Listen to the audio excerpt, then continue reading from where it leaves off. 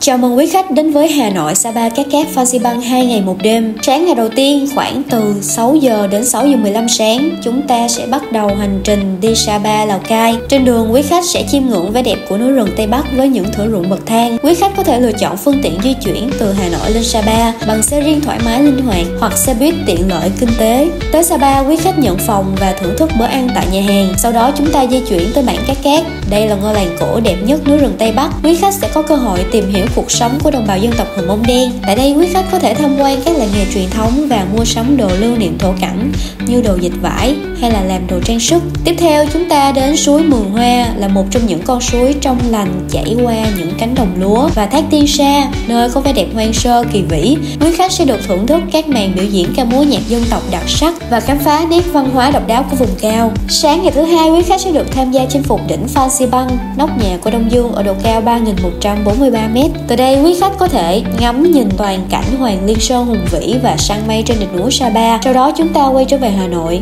kết thúc chương trình tour Sapa 2 ngày một đêm. Cảm ơn quý khách đã xem hết video. Việt Nam Travel Group rất mong chờ được chào đón quý khách trong chương trình của mình.